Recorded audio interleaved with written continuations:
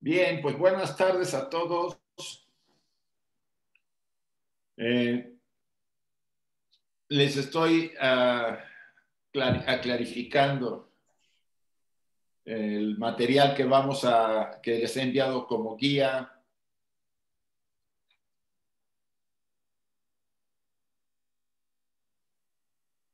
Y eh, además, eh, la diferencia está en que en esta ocasión eh, incluí unos diagramas. Es una especie de prueba a ver qué tal funciona para las ideas abstractas que vamos a estudiar en, en las estancias del cosmogénesis.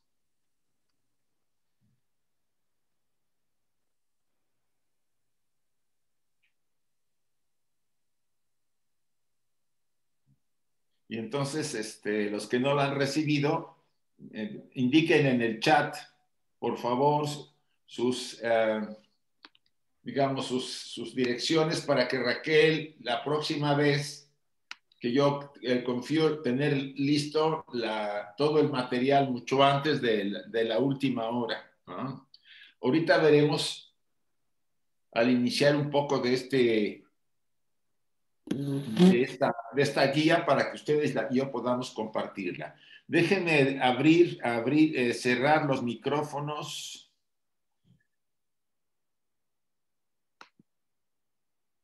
Y este, abrir los de Raquel y los de Emilce. A ver. Ya abrí, Raquel, ya se ha abierto el tuyo, creo. Ya estoy. Y Emilce, por si que me avise, porque si te vas, Raquel, para que alguien me avise, si no... No me voy, no, no me voy a ir. Ah, bueno, entonces contigo. Gracias, Emilce. Raquel va a estar aquí. Bueno, vamos a empezar. Y déjenme ver, bajar aquí compartir. Ah, una aclaración, bueno, ahorita vamos a verla cuando toquemos la de los mensajes que se envía por el chat. Voy a cambiar, estamos en la primera, en la primera dedicación, espero que no haya problema. Eh, repitamos todos la dedicación, les voy a rogar eh, que lo hagamos con el espíritu de dedicación de este trabajo que hacemos cada lunes. Uh, Oh, tu sol dorado de esplendor más excelente. Ilumina nuestros corazones y llena nuestras mentes. Así que nosotros, reconociendo nuestra unidad con la divinidad que es el corazón del universo,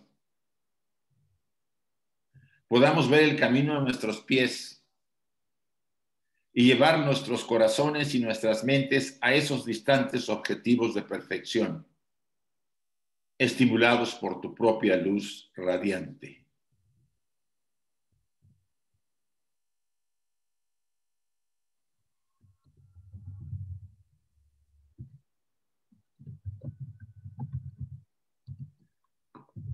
La dedicación de la señora Burnier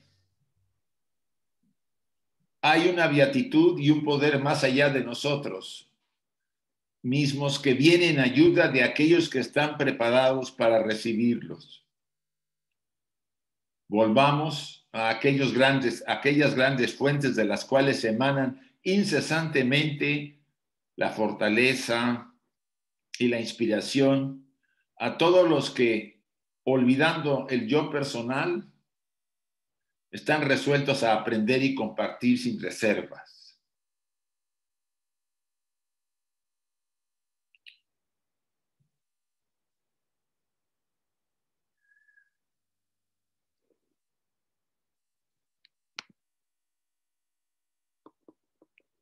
Y esta de eh, los Upanishads, oh Pushan, oh sustentador de todo, abre los labios de la verdad, ahora ocultos bajo áureo velo, para que los devotos de la verdad podamos ver.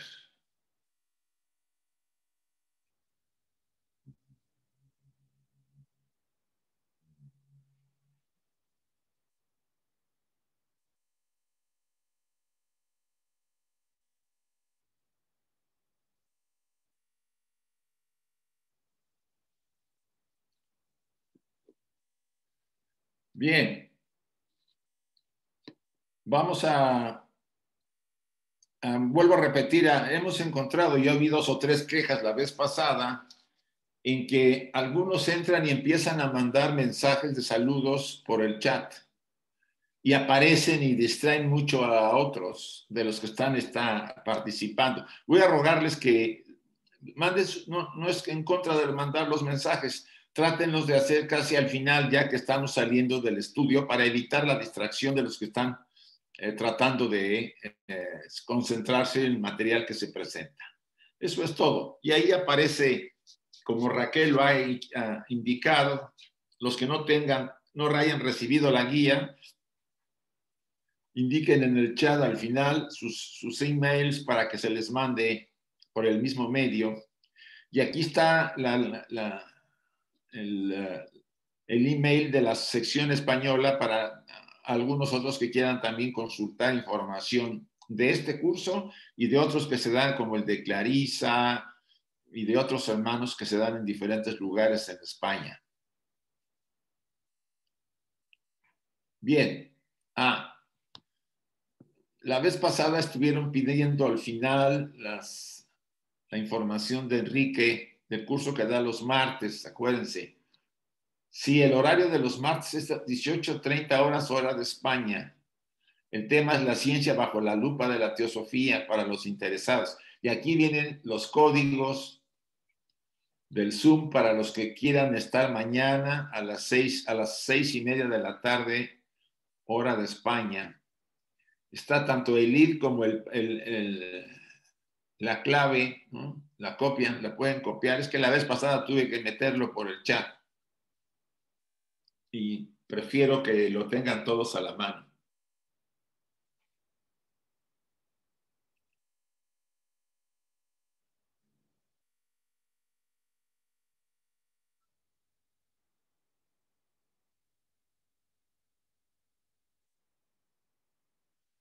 Espero que todos estén viendo, que es la guía en esta ocasión a la que estoy compartiendo. Si hubiera alguna cosa, Raquel, dímelo. Yo voy a estar eh, moviendo este material para que lo vean todos. Si no me mencionas nada, es que se está viendo sin problema. Ustedes van a ver que puse las, las locas, así se les llama, los pequeños versos que conforman la primera estancia que viene aquí la versión en inglés está en la página, en la versión electrónica en español está en la página 93. Por cierto que la semana pasada se distribuyó y lo han seguido distribuyendo los hermanos de la rama Ceres, la edición del primer tomo de esta versión en inglés, eh, más un diagrama, etcétera, etcétera, para que todos lo tengan eh, a la mano y podamos compartir la misma información.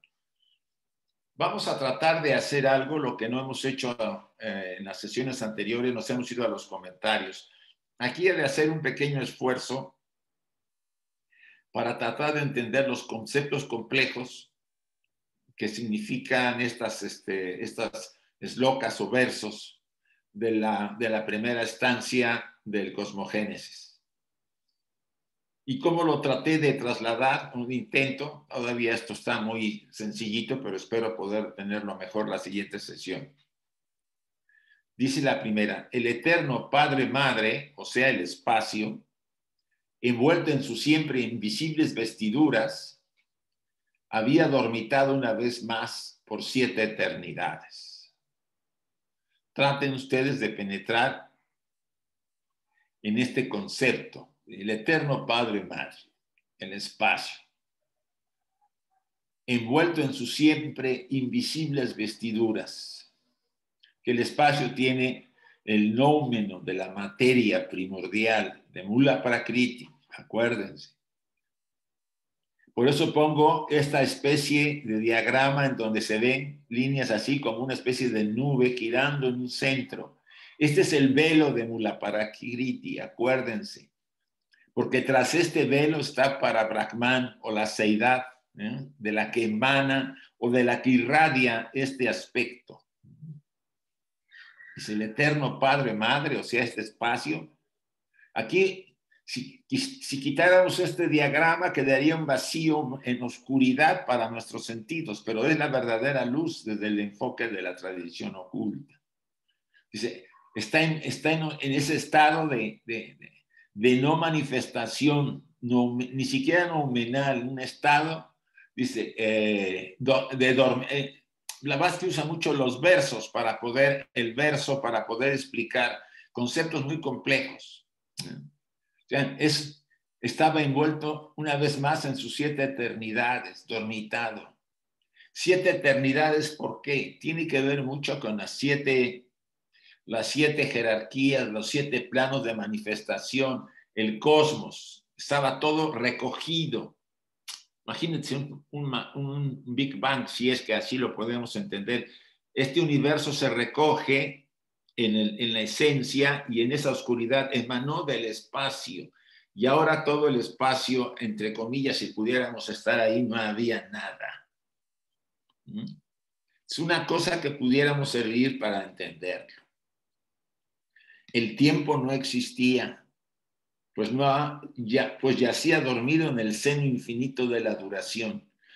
Cuando veamos el tema del tiempo y la duración, son cosas diferentes. El tiempo es una eh, sucesión de imágenes, de, eventos que el ojo de alguna manera recibe. Cuando vemos nosotros un objeto moviéndose, es como si le sacáramos muchas fotografías a ese objeto, pues ese es el principio de la cámara de los cines. Ven que cada, ahora está digitalizado, pero son fotografías que van a cierta velocidad mayor a las que el ojo mueve, se mueve y ve que las cosas se mueven. Es una ilusión, ¿no? Como eh, nos lo dice la ciencia. Pues en este caso, decía, insistía, no había nada, porque era ese gran vacío o ese gran pleno. No había universo, no había nada. Estaba en un estado de adormecimiento total y solamente se movía tras de ese vacío o plenitud de universo la seidad, de donde se irradiaba todo. Entonces, duración es lo que es, es como, vamos a utilizar un término, un tiempo que eh, nunca termina, si podemos verlo así, que es, ya no vamos a entrar al detalle. Más adelante veremos los comentarios quizá para explicarlo más. Tres, la mente universal no existía, pues no había ají para contenerla. Si se fijan ustedes, acá tenemos estoy con la flecha señalando la seidad. Esto está alrededor de todo. Es el espacio. Eh, este ya es Mulaprakriti, la materia primordial. Pero atrás del espacio, que este es el Padre-Madre, está la seidad, si podemos llamarlo así. Yo lo separo porque así lo pone Blavatsky acuérdense que la materia primordial es vibración de la seidad un poco más densa, si queremos llamarlo así. Porque para Brahman, usando la terminología sánscrita, y Mula Prakriti, la materia primordial, y para Brahman, la seidad, son uno. O sea, todo emana de aquello, de la seidad. Y esa irradiación produce eh, vamos a decir, el primer marco, o sea, la mula prakriti, y en el centro está el logos sin manifestado. ¿no? Aquí le puse el primer logos. De ahí, esa es la unidad de vida que nos, que nos, nos contiene a todo el universo. Ahí ya hay una manifestación pero aparte de la primer logo sin manifestado, debe haber otros dos logos, el segundo y el tercero. El segundo es el espíritu que ven aquí arriba como línea y aquí abajo como materia. Ahí se genera la dualidad, si podemos llamar. Luz y oscuridad, espíritu y materia, etcétera, etcétera. Y eso nos permite que emane el tercer logos, que es la línea que cierra el triángulo y se llama Mahat, la mente, la mente universal. Todo hasta acá está muy bien. Imagínense ese espacio que es el pleno y el gran vacío o el gran pleno, y que ya emanó, emanaron estas tres, estas tres energías del fondo de la seidad, pasando por la materia primordial, y han emanado, ya empieza el amanecer del cosmos, y es, pero está el espíritu y la materia, las dos energías moviéndose en ese espacio, y ya está la mente que brilla. Vamos a poner el hijo, por llamarlo así. Pero ¿qué pasa donde hay, está la mente universal, pero no hay mm, seres que puedan captar la mente para manifestarla? Los aji, los siete primordiales, por eso los pongo entre puntitos, no habían surgido todavía. Estaba todo preparado, pero no, no estaban ellos. Y al no estar ellos, no había, la mente universal no se manifestaba en nosotros, en los seres, en los ají. Recuerden que nosotros tenemos un cerebrito material dentro de esta caja, ¿no? De la cabeza. Pero esto es solamente, eh, vamos a decir, el radio que capta a la verdadera mente que está sobre nosotros, a un lado del huevo áurico, vamos a llamarlo así, la parte superior o del campo magnético que tenemos. ¿sí? El huevo áurico quizá abarca mucho más, vamos a llamarlo así, perdón.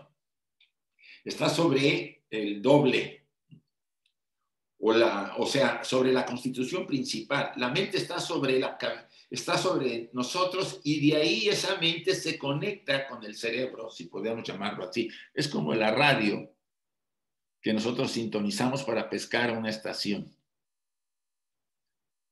Entonces, no había sujetos, individuos, vamos a ponerlo a ese nivel, medios para que esa mente universal se manifestara en los planos. Ya empezaban a ser materiales, ¿sí? Porque ya ahí la materia primordial ya estaba llenando todo. Los agi vienen de otro universo, del universo anterior, preparados para recibir y de a partir de ahí generar a su vez las siguientes jerarquías cada vez, cada vez más densificadas hasta llegar al ser humano y seguir adelante todavía. Por eso pongo acá, no había ají. Dice, las siete sendas de la felicidad no existían. Las grandes causas de la desdicha no existían porque no había nadie que las produjese y fuese aprendido por ellas. No había nadie, no había aquí, no había seres. ¿Quiénes permiten que e, esa mente se manifieste? Desde los seres superiores, los Dian Shohans y Dian Budas, bajando a todas las jerarquías divinas y angélicas hasta llegar al ser humano. ¿Mm? O sea, debe haber un recipiente que tome a la mente universal y la manifieste. No había nada. Era el principio de un cosmos que había estado dormido y que empezaba a despertar, o estaba todavía, eh, como más adelante veremos, en paranirvana, ya veremos ahorita. Por eso aquí abajo ustedes ven otra vez el triángulo, los tres logos, los aji en puntitos porque todavía no existían. Yo pongo acá aji, no existían, no había desdicha. Si no hay mente y no hay mente dual, ¿qué desdicha puede haber?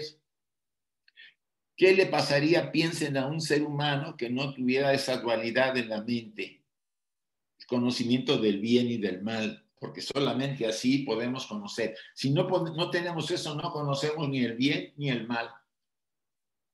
Necesitamos la participación de esa dualidad, de esa polaridad, y ustedes y yo nos movemos mentalmente en esa polaridad. Si no hay eso, no hay desdicha. ¿Por qué? Porque la polaridad no está, la mente no está. Y si no hay mente,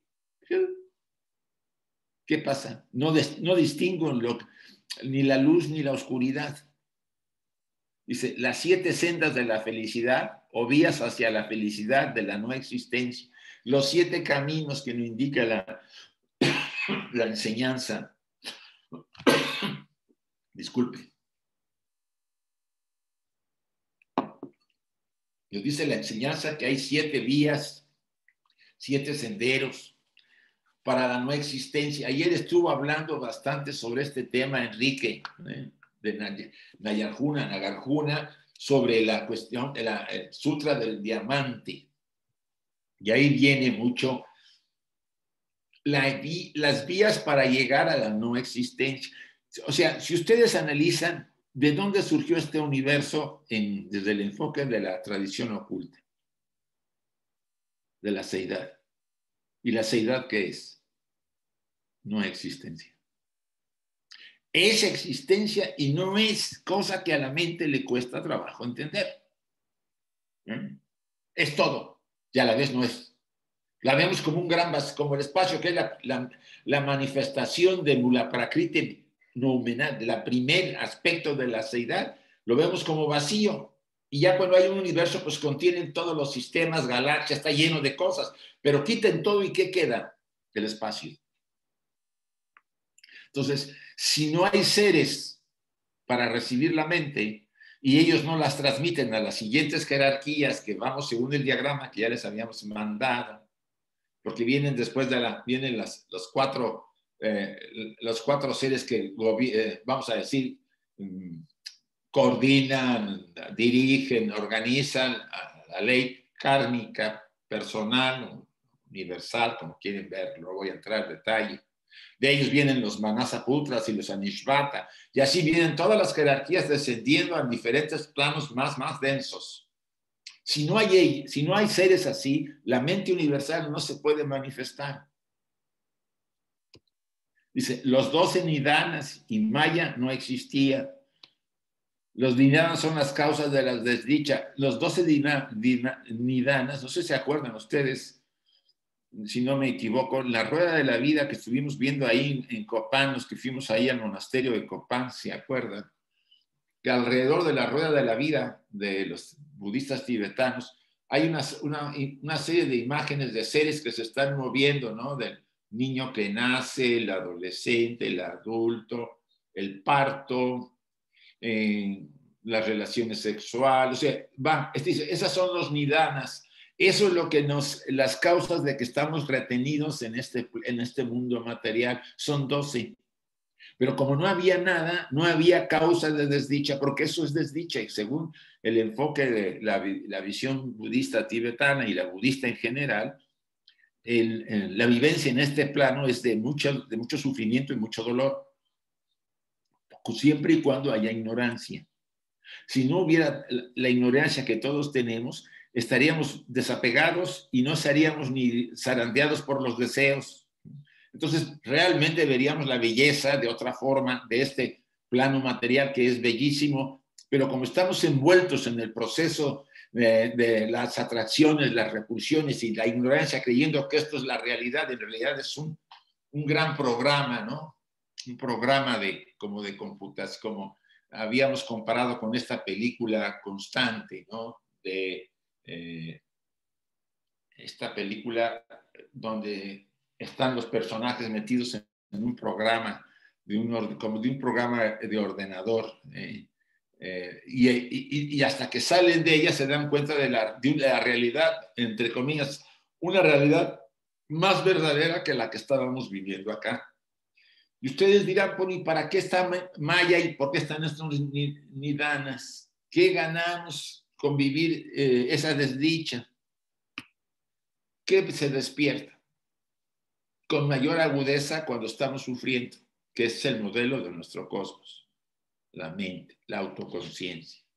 Y así vamos transitando vida tras vida, experiencias tras experiencias de todo tipo, hasta, hasta que vamos despertando lamentablemente por sufrimiento primero y después por, un, por la inteligencia que empiece a brillar y no repetir las acciones que han producido sufrimiento hasta que encontramos el equilibrio entre las dos polaridades que cada vez se van cerrando y como comentario personal, cuando se une nuevamente en la unidad, el individuo se ilumina, vamos a decirlo, se da cuenta de la realidad, escapa de este círculo vicioso de la rueda de la vida. Sí podemos decirlo así. Quinto, solo tinieblas llenaban el todo sin límites. imagínense todos esos espacios. Aquí Blavatsky usa esta alegoría de, de, tiniebla. Pues sí, porque ustedes ven una habitación oscura. Imagina, hagan ese ejercicio, una habitación oscura, pero totalmente oscura. Ustedes entran, cierran la puerta y, y entran. Se pueden ver hasta las manos y no se ve nada. Traten de verse, no se pueden ver. Algo así como ejemplo. Imagínense así, llenaba todo aquel espacio sin límites. Porque no había universo, no había nada, todo estaba dormido. Pues padre, madre, hijo, era una, uno, era uno vez más uno. Todo estaba recogido en la unidad, en el logo sin manifestado, si quieren. Y el hijo aún no había aún despertado para la nueva rueda y su peregrinación en ella. ¿Qué es la rueda? La nueva, el nuevo Mahamambanta, el nuevo universo, porque es como una rueda, son ciclos que se están repitiendo desde los macrociclos a nivel cósmico hasta los microciclos como el nuestro de nuestra vida. Vivimos un ciclo, ¿no? Nacemos, somos adolescentes, llegamos a la mitad de la vida, mm, mantenemos ahí más o menos un periodo, entre comillas, estable y empezamos a, a decrecer en el ciclo que se va alargando hasta que desencarnamos. Es un ciclo, un ciclo menor en los seres humanos. Entonces, no el Hijo significa toda esta manifestación del cosmos, donde ustedes y yo estamos evolucionando. Aquí pongo a la seidad con esa radiación, ¿no? porque tras el, este adormecimiento del, de, Mula Prakriti o el espacio primordial, la materia primordial, aquí pongo al padre, madre, hijo, estaban fusionados, estaban dormidos, todo estaba envuelto en tinieblas. Dice, seis, los siete señores sublimes, o sea, los siete primordiales, y las siete verdades habían dejado de ser, y el universo, el hijo de la necesidad, aquí confirma que el universo es el hijo de aquel, del, primer logos, ¿sí? estaba sumido en paranishpana para ser exhalado por aquello que es y sin embargo no es la seidad. Ninguna otra cosa existía. Todo estaba en forma estática. Aquí lo vuelve a decir HPV de otra manera, muy, muy poético, porque solamente la poesía puede captar estos conceptos muy abstractos. Las causas de la existencia, habían sido destruidas, sí, porque era el universo anterior. Ya no habían, los siete ají habían, se habían nuevo, nuevamente fusionado en, los logos y había desaparecido en el logo sin manifestado y volver a la fuente. Lo visible que fue y lo invisible que es permanecían en el eterno no ser el único ser, o sea, volvieron a la seidad. Todo, imagínense que se recoge el universo en la seidad y queda otra vez en aquello que ni siquiera es el cosmos, no es el vacío ni el pleno, está atrás de eso.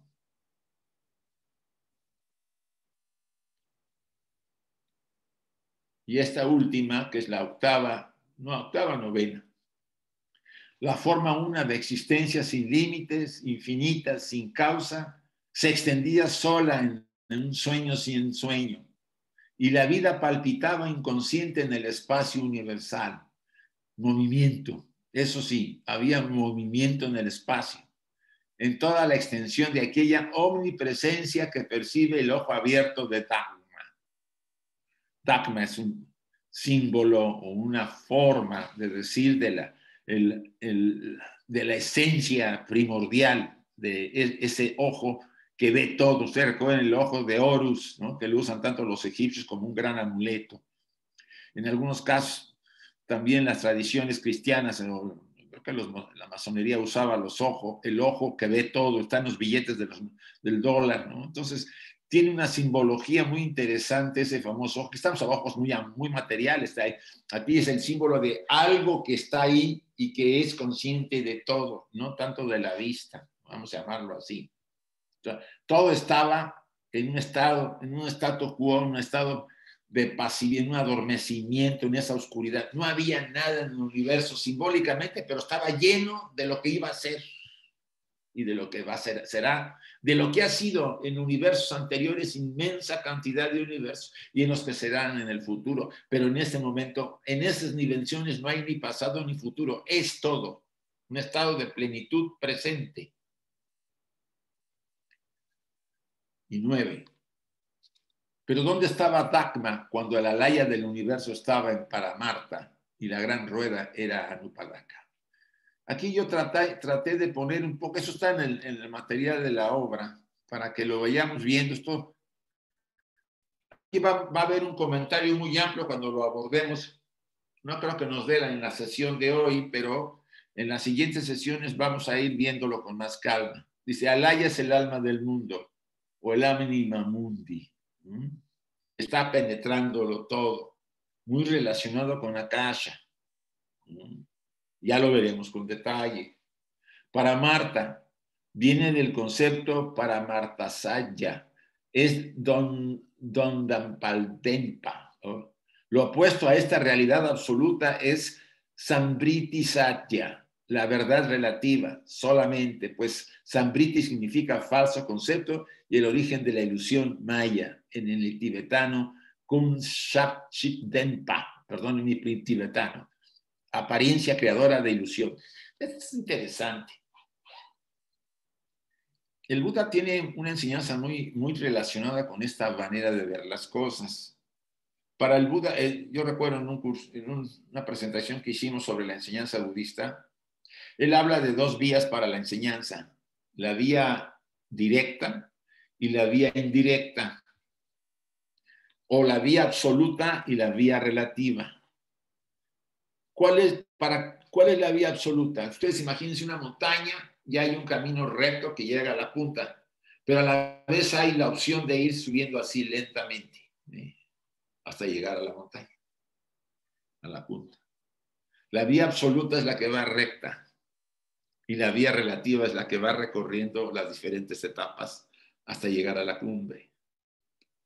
Dice, la enseñanza budista tiene estos dos enfoques. Hay una enseñanza relativa para una mente que necesita verla así primero, porque tiene que ir dando pasos, paso a paso, y ir progresando, y hay una enseñanza absoluta para aquel que ha madurado y tiene capacidades de ver directamente la esencia, ese ojo de Dharma que se ha empezado a, despertar. Es mucho lo marca, si acuerdan ustedes la enseñanza de Krishnamurti, él insiste mucho que la vía directa es la importante. Sí, pero la mayor parte de nosotros vamos por la vía relativa, o sea, la de ir pasando etapa por etapa, porque nuestra madurez no es suficiente todavía. Eh, este, este último pasaje, este último shloka, lo veremos con calma porque tiene ahí significados interesantes. La gran rueda era Nupadak, la gran rueda del cosmos, del Mahamambantara, estaba eh, adormecida, no había universo. Vean la simbología y la riqueza de cómo HPV lo ha manejado. Bien, vamos a este a regresar y que me diga, uh, me diga Raquel si todo va bien. No hay, eh, se puede, se están cambiando las imágenes, supongo. Sí, sí. Va bien, gracias. Mira qué bien. Bueno, podemos abrir ahorita un momento para si hay algún comentario al material y que lo vayamos reflexionando según, eh, vamos a decir, eh, alguien quiera decir algo, déjenme abrirles las, los micrófonos. A ver, Salomón, por favor. Hola Isaac, buenos días. Este, gracias Isaac nuevamente por todo lo que nos enseñas y nos compartes. Oye, bueno, pues una pregunta que, que me surgió hace, hace un poquito este, es relacionada con la seidad. Quiere decir que todo, todo, todo lo que ha lo que se irradió de la Seidad y lo que emanó del primer logos, etcétera, etcétera, hasta el átomo físico y no físico del universo, ese todo, todo estaba eh, latente en la Seidad antes de la manifestación. ¿Es así? Sí. Mira, yo les sugiero que eh, yo puse unos diagramas para que poco a poco tratemos de, mm, vamos a decir, entender los conceptos que HPV nos transmite en la tradición oculta.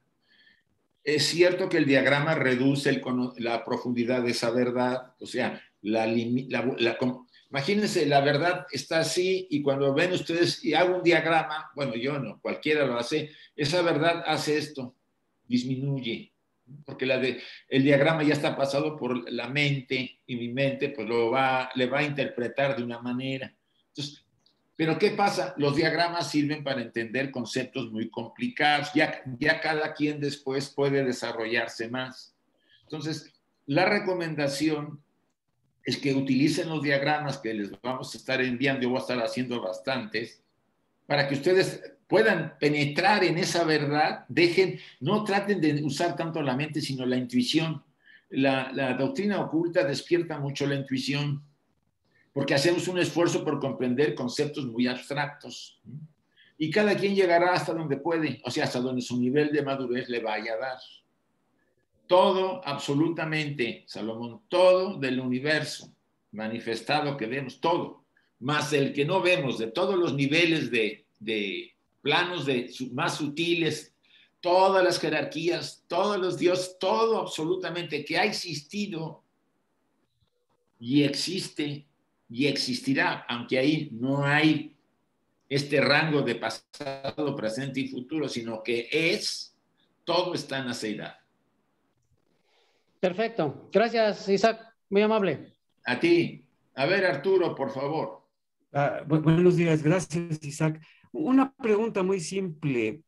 Si lo que está siempre, como concebimos siempre, es el espacio, también en el espacio está la duración.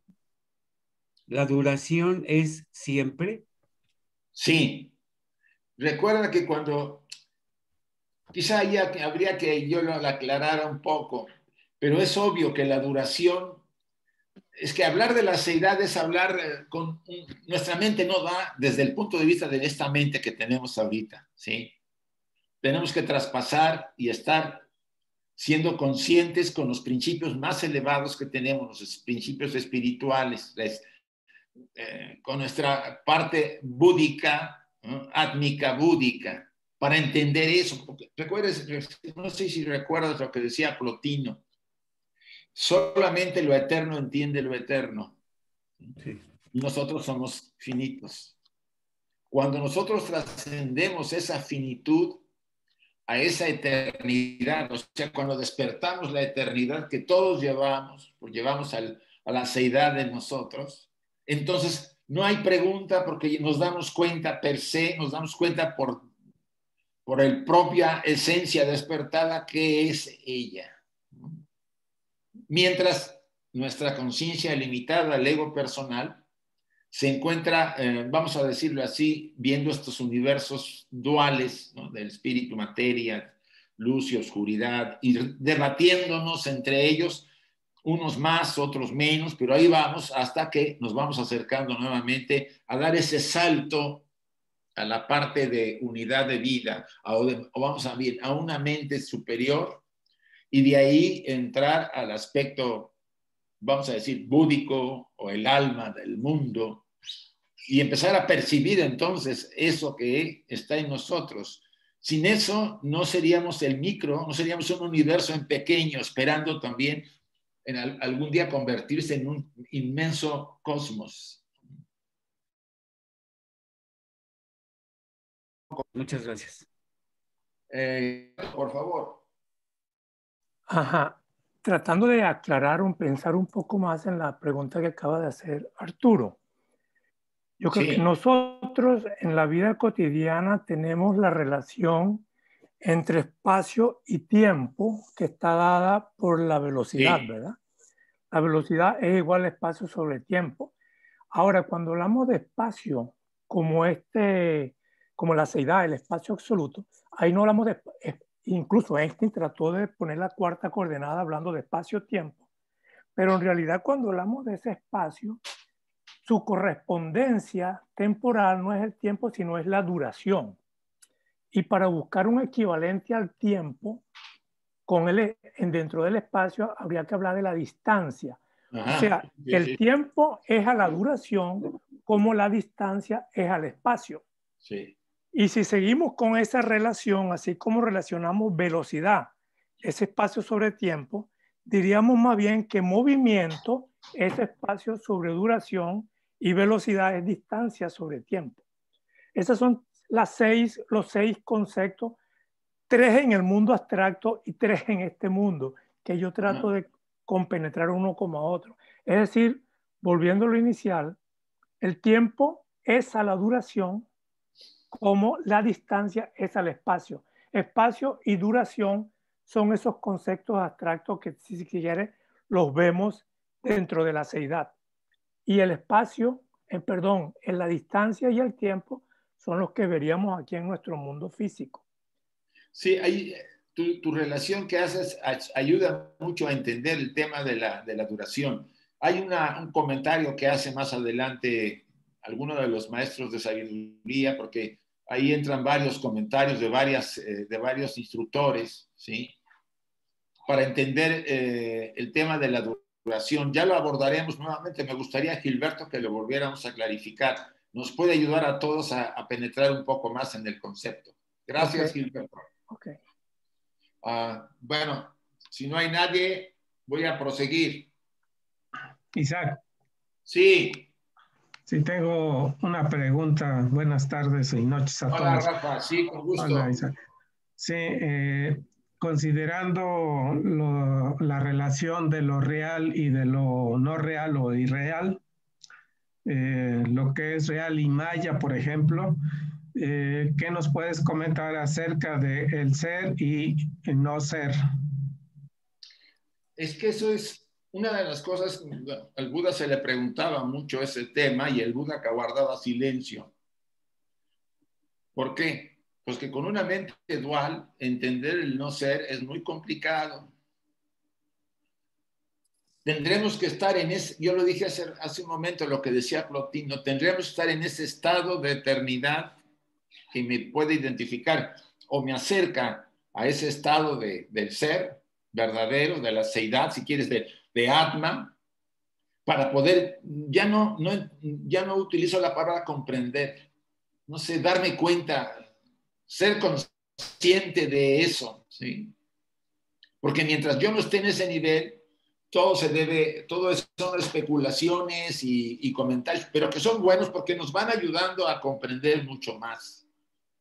En otras palabras, el Buda guardó silencio porque a los, supongo, a sus discípulos que le preguntaron o a las personas que se le acercaron, se dio cuenta que no iban a comprender una, vamos a decir, la esencia misma de la vida, de la que emana.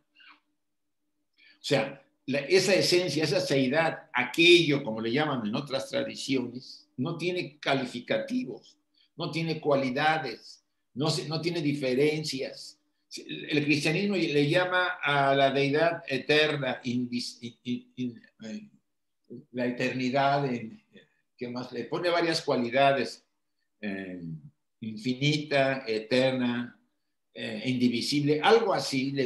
nosotros podemos poner condiciones, pero entonces eso no es a lo de lo que estábamos hablando. Eso está más allá de, es algo a lo que no podemos ponerle nada con una mente como la nuestra. Si tuviéramos una mente, bueno, una, una, una realización a niveles muy elevados espirituales, podríamos captar algo de esa eternidad. ¿Y saben qué diríamos cuando nos preguntan sobre ella? No diríamos nada, como el Buda Luis, porque no entendería a las personas. En otras palabras, todo esto, el ser emana del no ser, pero lo más impactante es que el no ser es ser y no ser. ¿Ah? Es el pleno y el vacío. Acuérdate del sutra del corazón, del diamante. No hay bien, no hay mal, no hay luz, no hay oscuridad, no hay sendero espiritual, no hay infiernos, no hay nirvana, no hay nada, simplemente es aquello.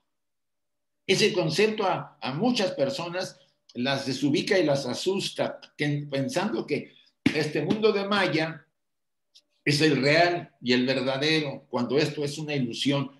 ¿Por qué es ilusión? Porque lo necesitamos para progresar y despertar la autoconciencia.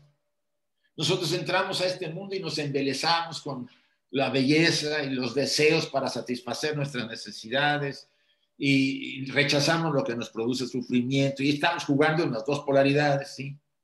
Llega un momento que nos empezamos a cansar vida tras vida, vida tras vida, haciendo lo mismo. A veces vidas de, mucho más positivos, vamos a decir, mucho más en la luz, de disfrute, pasarla bien, porque nos ganamos por ley kármica esas bondades. Pero después empezamos por ambición y deseos de poder a caer en el lado oscuro y empezamos a tener vidas de mucho sufrimiento hasta que decimos, hasta aquí llegamos. Y entonces empieza el verdadero regreso a nuestra naturaleza. Ah, la primera parte es vivir hacia afuera y después vivimos hacia adentro.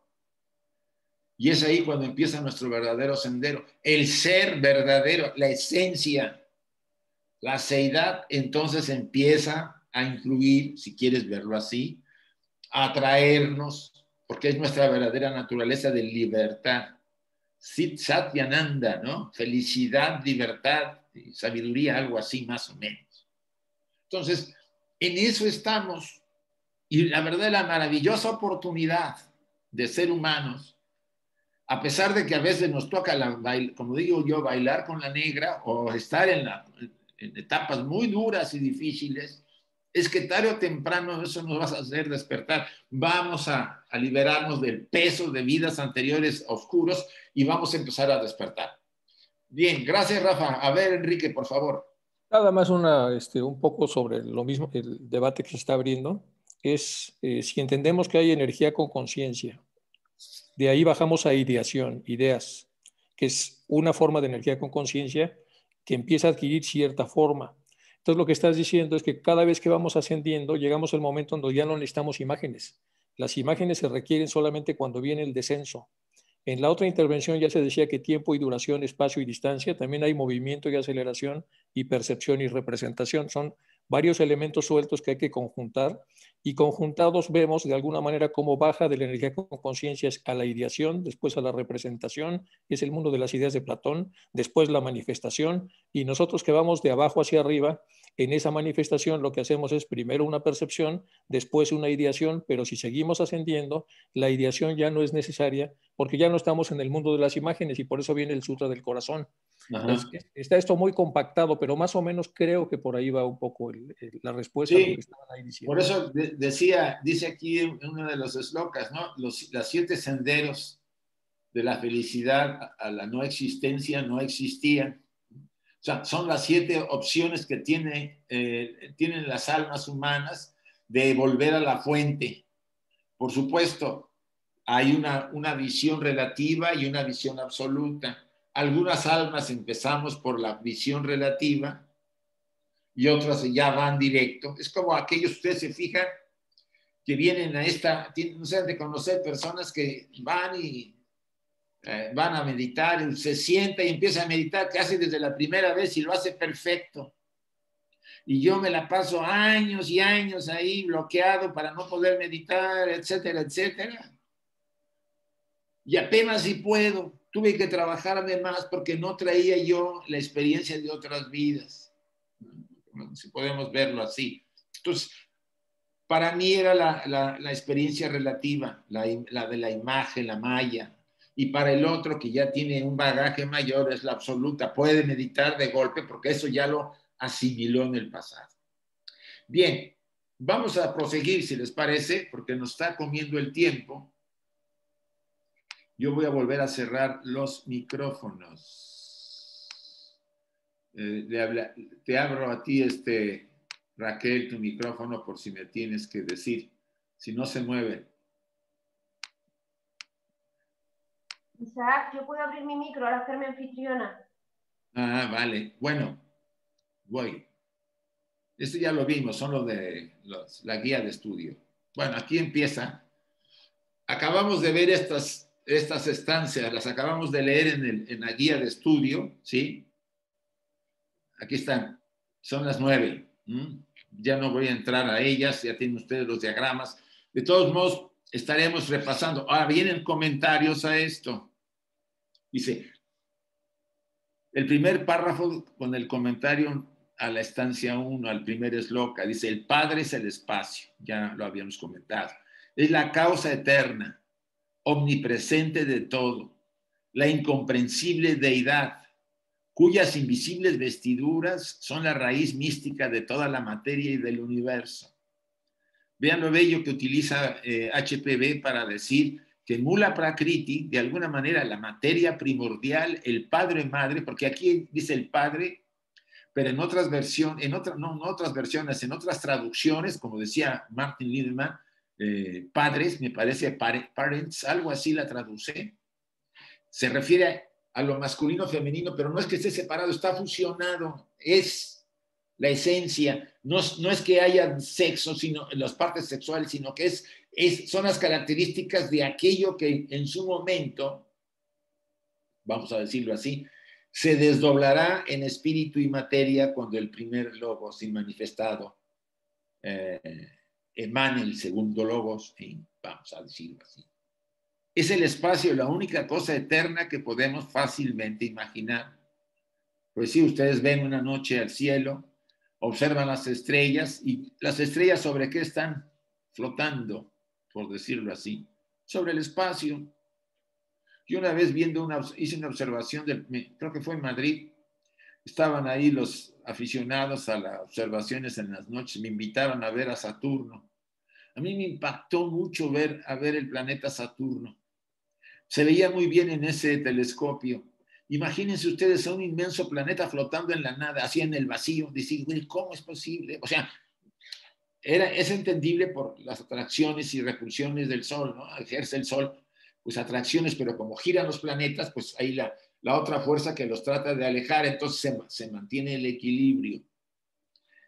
Me impactó una sensación rara que me produjo de ese espacio en el que estaba ese planeta. Entonces, vuelvo a decirlo, es el espacio, la única cosa eterna que podemos fácilmente imaginar, inmutable en su abstracción. Imagínense, están yo estoy en una habitación, una cocina, Está llena de muebles, ya saben, las cosas, una mesa, sillas, el refri, el lavaplatos y varias cosas. Vacíen la, la habitación, con un sueño que tuvo una amiga mía, vaciada la habitación. ¿Qué significado puede tener? Solamente hay espacio, porque todos esos objetos estaban en ese espacio contenidos. Quitan los objetos que quedan. Lo único que queda, ¿qué es?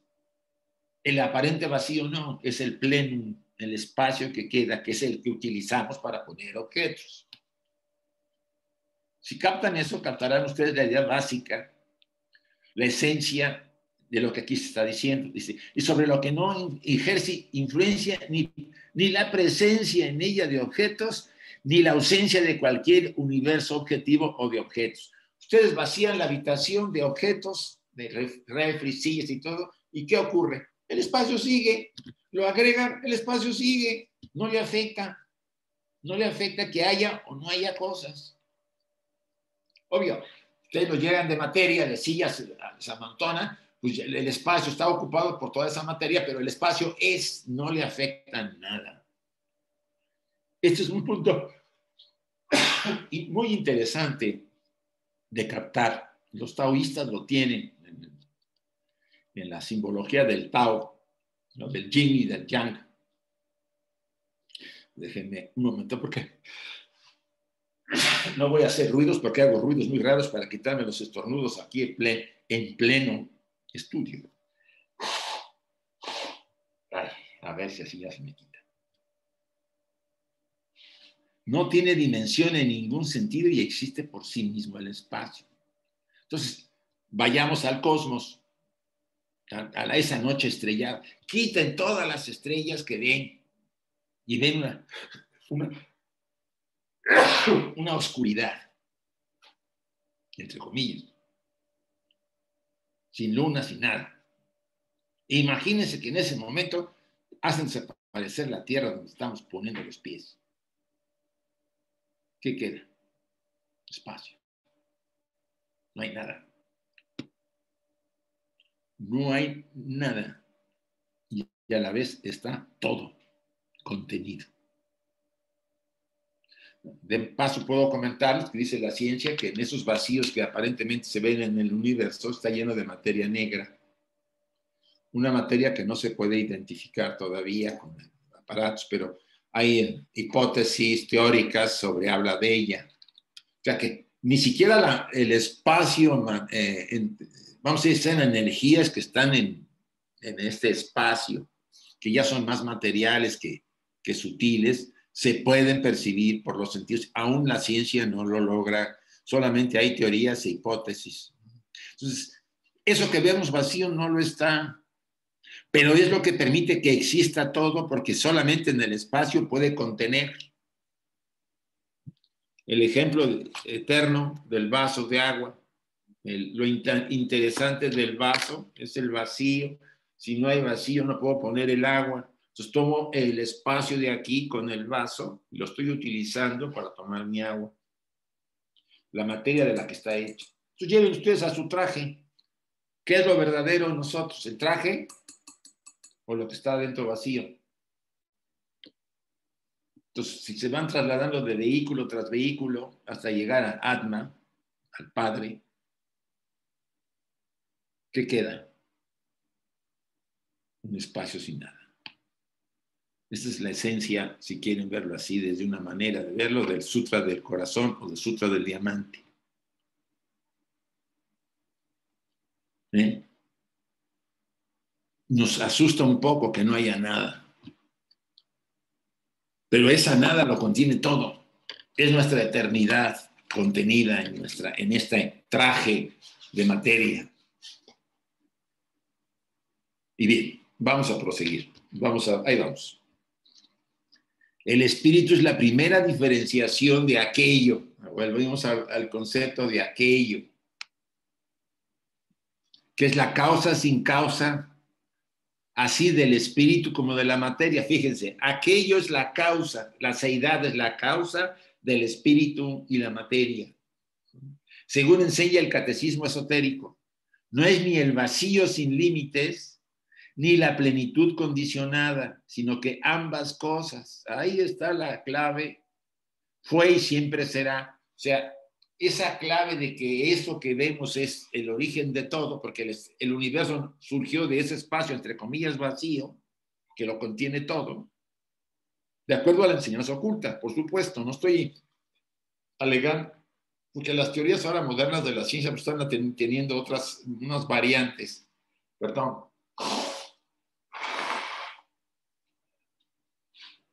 Vuelvo a repetir, el espíritu es la primera diferenciación de aquello, que es la causa sin causa, así del espíritu como de la materia. Estamos hablando, aquí HPV usa espíritu como primera diferenciación, no le queda otra.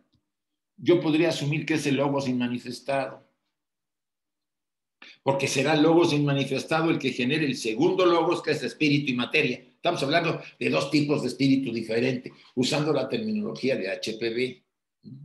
Hay un espíritu previo, que es, se puede decir, la seidad, si quieren, más que la seidad, ya algo más vibrando más densamente. Y de ahí nace, si quieren ustedes utilizar la, la, terminología que estamos utilizando del logo sin manifestado, nace el espíritu y nace la materia o emana, usando la tecnología correcta. Y vamos a una última imagen, porque estos conceptos abstractos necesitan ser asimilados. Y vamos a estar trabajando en los comentarios la siguiente semana. Así, fíjense que este diagrama me gustó mucho, si fijan. Vean ahí el centro de esa luz intensa, esa es la unidad del primer logos. Vamos a utilizarlo así. ¿Mm? De ahí emana esa primera esfera. Podríamos decir que la parte de arriba es el espíritu y la parte de abajo es la materia. Podría ser utilizado así. Que a su vez van emanando los... Eh, y, se cierra. Ahí, yo pondría ahí un triángulo. Y ahí después vamos a decir los siguientes planos del universo que se va a manifestar, desde los más elevados, átmicos, hasta los más densos. Esta imagen es muy interesante. Dice así, las vestiduras vienen a expresar el nómeno de la materia cósmica, no diferenciada. Habla de las siete eh, vestiduras. O sea, es, el, imagínense a la materia que conocemos, esto que parece ser denso, estoy aquí moviendo así la mesa. Si pudiéramos usar la misma terminología, esto es espíritu más condensado, en una vibración más densa cuesta entender, no es cierto, ahí son electrones y lo, espíritu lo espiritual es muy sutil, esto es muy denso. Es obvio. Pero ¿de qué está hecha la... Eh, los, creo que en, los Upanishads los hindúes ponen que el ser humano, que la conciencia es un ser que va sobre los hombros de otro individuo.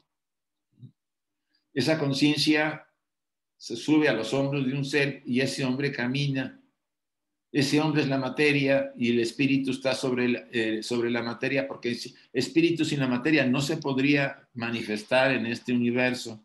Y la materia sin el espíritu sería inerte, entre comillas, no habría conciencia. Entonces, somos una combinación de esos dos aspectos. Vuelvo a repetir el comentario. Dice, así las vestiduras vienen a expresar el nómeno de la materia, o sea, lo esencial de la materia cósmica, de nula prakriti no es la materia tal como nosotros la conocemos, por supuesto, sino la esencia espiritual de la materia, a ver si así le pesca. Y en su sentido abstracto es, el, es coeterna y aún una con el espacio. El espacio es madre, padre, cuando está adormecida, e hijo. Ah, no ha surgido nada, es un espacio entre, si ustedes lo pudiéramos yo ver, pues veríamos como sentidos humanos, veríamos un vacío total, no hay nada, pero está lleno de todo, esperando que surgir, esperando que esa luz que ven ahí, ese, ese centro de luz, porque ese centro de luz emana de esa oscuridad que rodea todo. Ahí está la seidad, si quieren verlo así.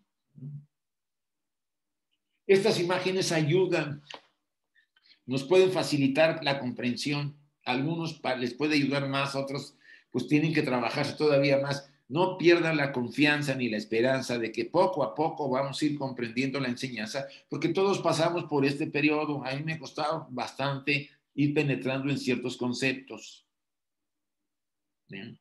¿Por qué? Porque se tiene que acostumbrar a la mente, acostumbrada a vivir en lo superficial y en lo simple, en los objetos diarios, en la ilusión de que estoy separado y que la gente está por allá y yo estoy acá. No hay separación, todos estamos dentro de, ese, de esa esencia divina que todo lo contiene. Por eso el, primer objetivo de la enseñanza teosófica o de la enseñanza oculta es la fraternidad universal. Porque a nivel esencial, a nivel atma, átmico, o a nivel atma, todos somos uno. Y eso es básico, porque tarde o temprano lo reconoceremos sin las siguientes eh, ciclos de, evolución humana, estamos en la quinta raza, subraza de la cuarta ronda, o de la quinta ronda, ahorita estoy un poco en ese sentido. Y después vendrá la sexta ronda y la séptima ronda. Al final de estas rondas, eh, la, humanidad será casi Buda, nacerán totalmente evolucionados desde un punto de vista. Eh, ¿Y eso a qué nos lleva? A que vamos progresando. El espíritu ahora se va, se va ah, imponiendo en la materia en el buen sentido. ¿sí? No es que no la necesitamos, necesitamos este traje de materia, porque si no, no estaríamos en este plano. ¿Qué nos pasa cuando el traje ya no sirve? Y nos vamos a los otros, a los planos sutiles, ¿no? a los mundos. Es lo que llamamos muerte. Se agotó el traje, ya no funciona o el karma fue tan fuerte que me sacó. Entonces ya mi conciencia se eleva y va a otro estado de conciencia. Acuérdense, no por no verlo, no existe. Los sentidos tienen muchas limitaciones y perciben poco, comparado con la realidad. Y eso hasta la ciencia lo dice. Por eso usa máquinas para poder apoyarse. Bien, voy a abrir los micrófonos y si hay comentarios, y el, el material que viene lo vamos a dejar para las siguientes sesiones. A ver, déjenme abrir. Sí, José, por favor. Sí, eh, mientras hablaba, Isaac me estaba imaginando en una playa en Turquía, donde llevan toneladas de arena. Y si llegamos en el momento en que simplemente depositaron las toneladas de arena, no hay nada, pero está todo, toda la arena.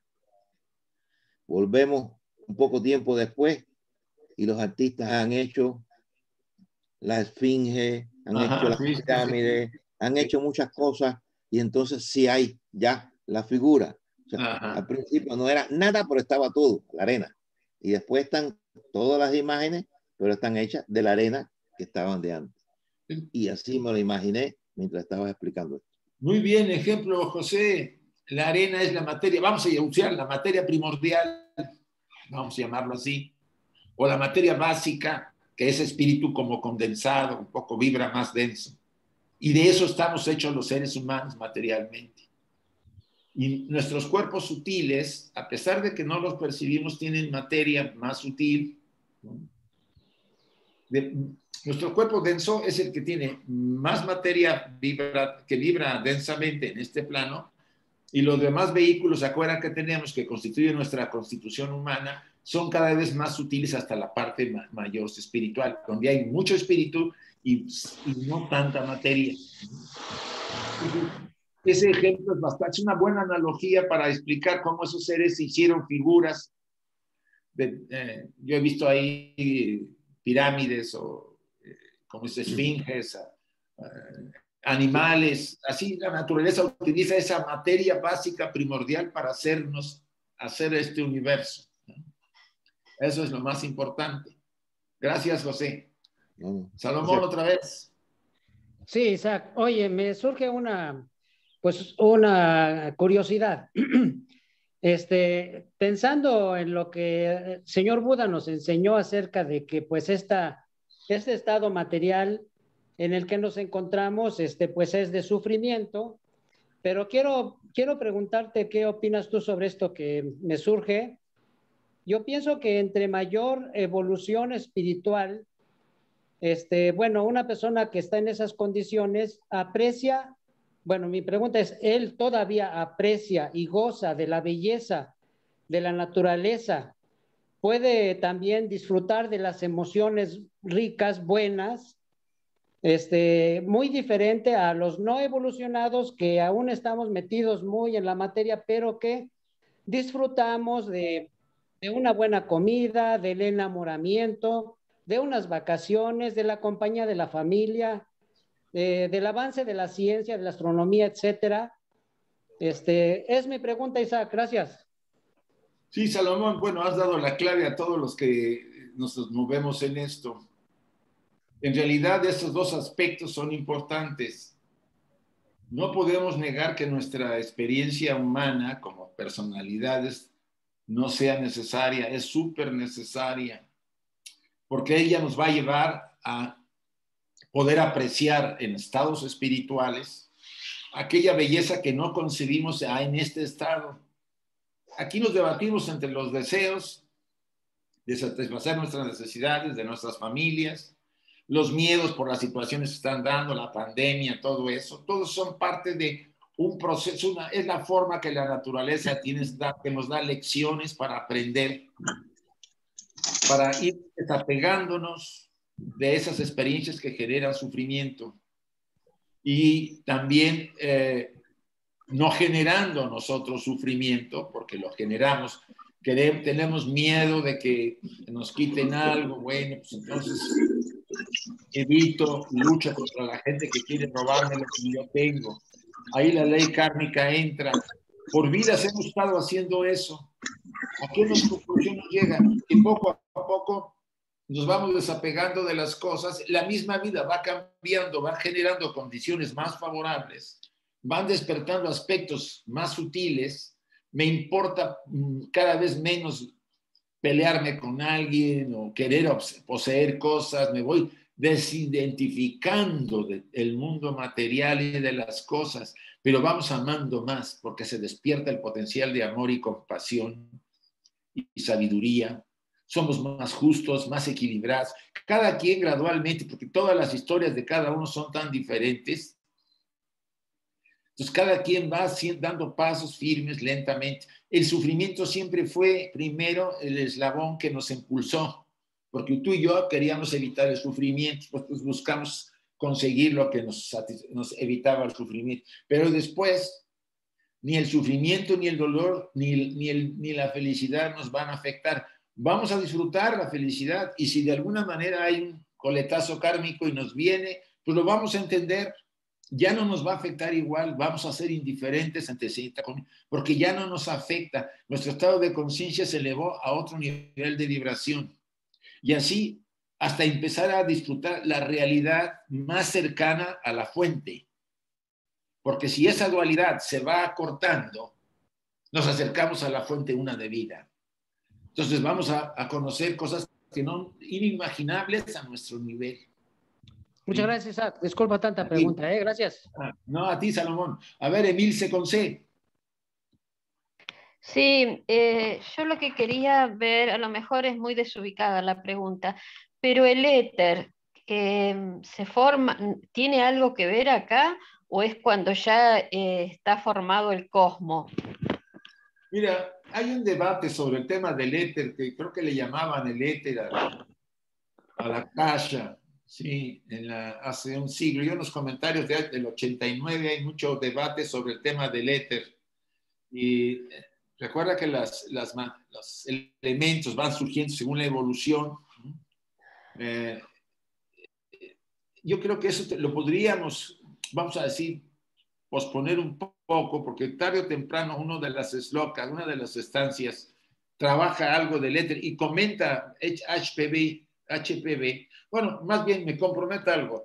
La siguiente sesión me comprometo a clarificarte lo del éter con más detenimiento. Todavía no, yo tengo ciertas ideas quizá algunas necesariamente que las tenga yo que clarificar más. Ella lo, es lo explica más porque se lo preguntaron los estudiantes en, en 1889. Pero sí, Emilce, déjame y la siguiente sesión lo paso, con gusto. ¿Puedo otra pregunta? Sí, Emilce. Em, hay algo que em, yo em, digo mi culpa porque no entendí en la explicación, o a lo mejor yo creía que lo había entendido, pero se ve que cuando yo lo expresé, no lo expresé correctamente. Para eh, cuando nos, hacer, hacer un resumen rápido. Cuando nosotros nos morimos, eh, estamos primero acá bollando, qué sé yo, y después, si fuimos más o menos buenos, eh, vamos al de Bachán. Después de muchas vidas y idas y vueltas, si nosotros, cuando, en qué lugares tenemos que estar para elegir volver a la tierra a ayudar a los demás o seguir un camino más elevado? Mira, eso es parte de la enseñanza oculta.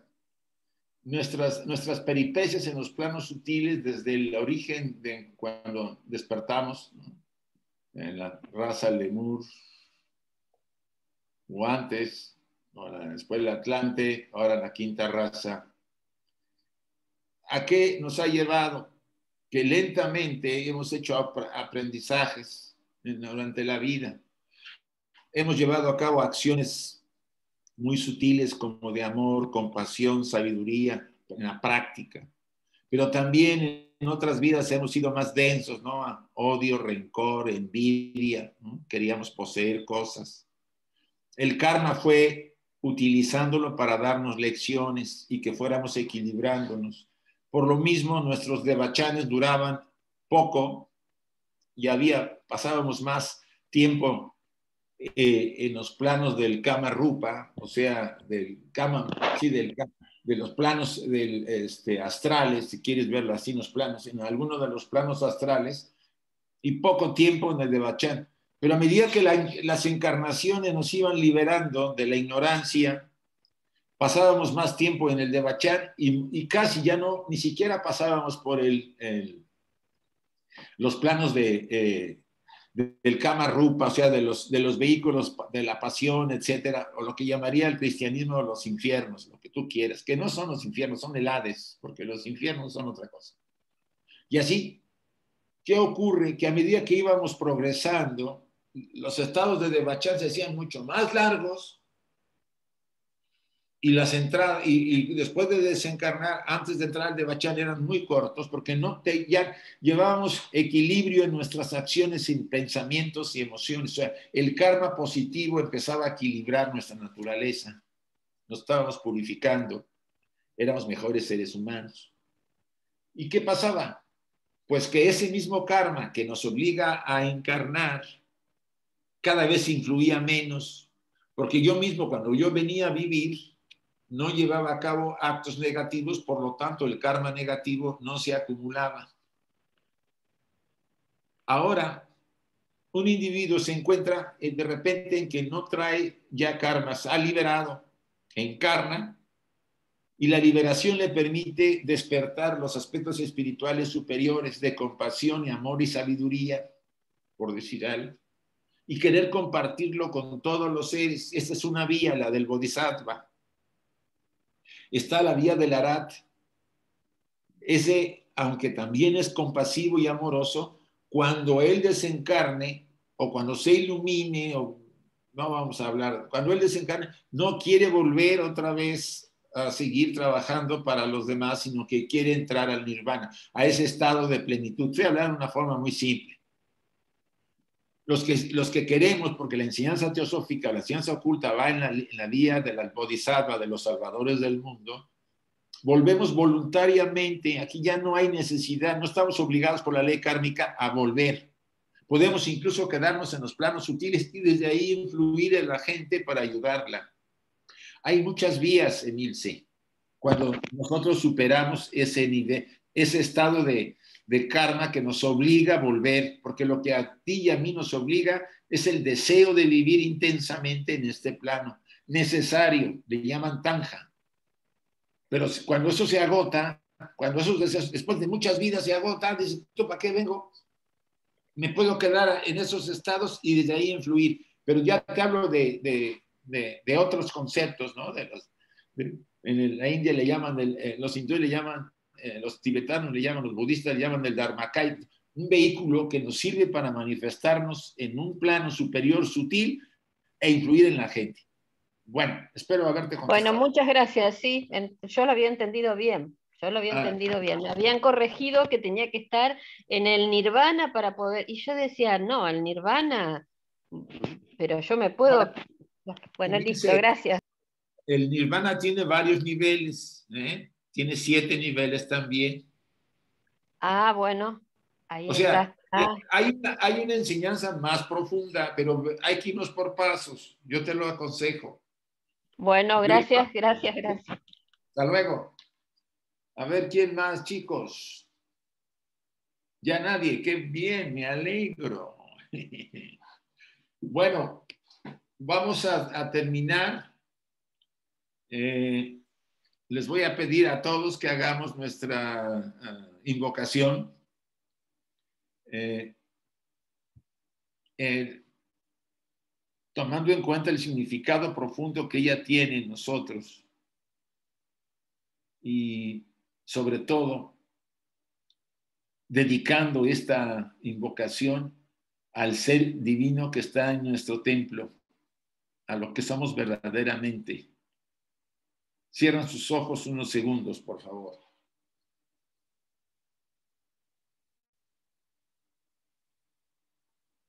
Y repitamos lo siguiente, después de que mencione la frase. Oh vida oculta que vibras en cada átomo.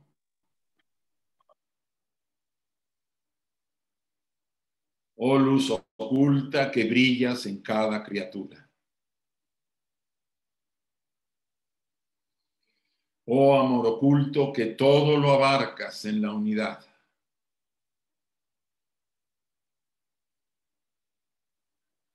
Que cada ser que se sienta uno contigo sepa por lo tanto que es uno con todos los demás.